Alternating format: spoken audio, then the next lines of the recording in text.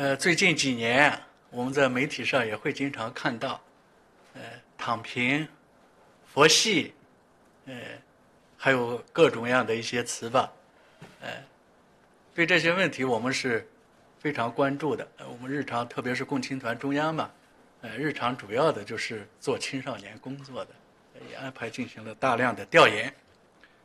我把我们调研的一些感受，呃，给大家介绍一下。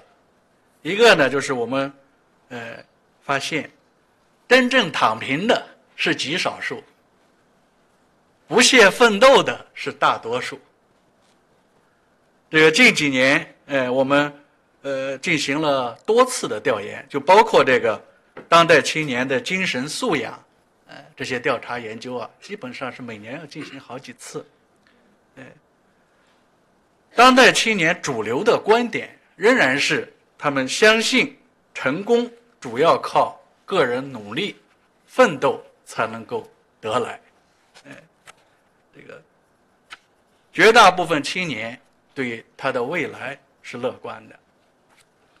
所以我们认为啊，青年口头语中的这种“躺平”“佛系”，更多的还是一种缓释压力的调侃和情绪表达。这是一个。